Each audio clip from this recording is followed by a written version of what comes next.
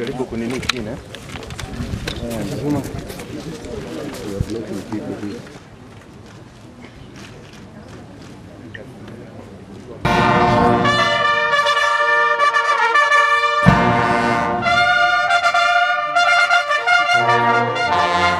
call upon my team in leadership and all the men and women in uniform that we are privileged to lead to re-attire or reclothe themselves, to grapple with the job at hand and effectively see it through, so that together we grow this force to even greater heights.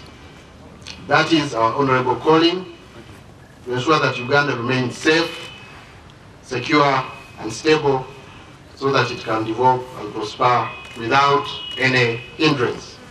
When I see the line of the young blood coming in the role of leadership, I feel very proud. But the likes of us, General Tumwine, Pecos, and myself have contributed to the growth of this army this far.